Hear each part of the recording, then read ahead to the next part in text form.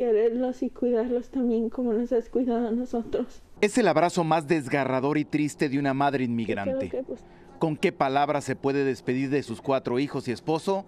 Diana Jiménez, a quien le han detectado cáncer terminal. La primera vez que tuve cáncer cervical, ellos me han cuidado, se han cuidado solas, han cuidado a mi hijo chiquito, atendido a mi esposo. Diana llegó a los 17 años a Abilene, Texas.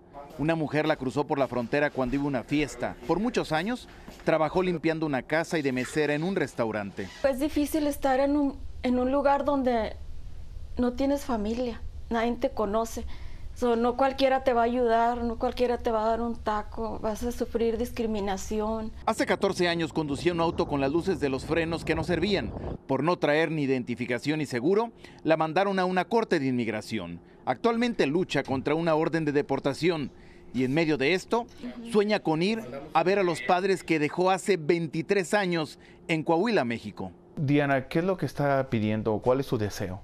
Yo necesito a mi mamá, a mi papá. Necesito un abrazo de ellos. La comunicación ha sido todo el tiempo por celular, sin caricias ni abrazos. Ya tengo años sin verla, señor. ¿Cómo cree usted que? Yo voy a cumplir 70 años.